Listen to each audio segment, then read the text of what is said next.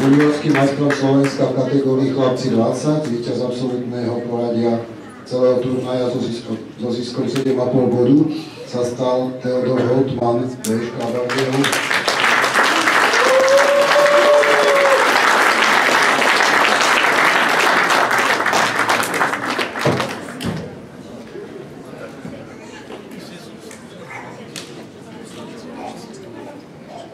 Bardejov.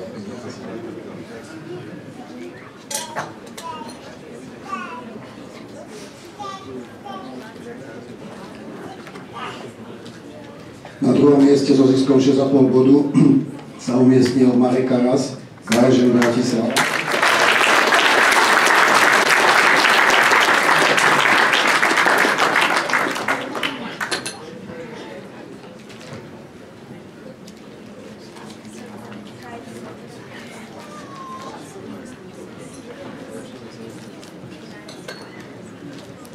A na treťom mieste sa umiestnil Oliver Spaček, Miška Osuské